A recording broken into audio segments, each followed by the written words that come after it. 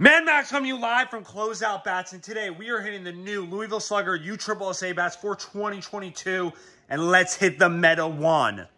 So this is going to be the new Meta 1, which we saw the Drop 12 and new Triple SA for Louisville go away last year, but this bat replaces the Prime 1. So you are going to have a new design to this bat, new composite, and a new name to this bat. The Meta 1, which also is going to be kind of a similar bat to the Meta, just a one-piece bat. This bat will have that EKO composite in it, so we have seen that EKO composite do some great things in BBCOR and U Triple SA. One-piece construction for a stiffer feel and a lighter energy transfer.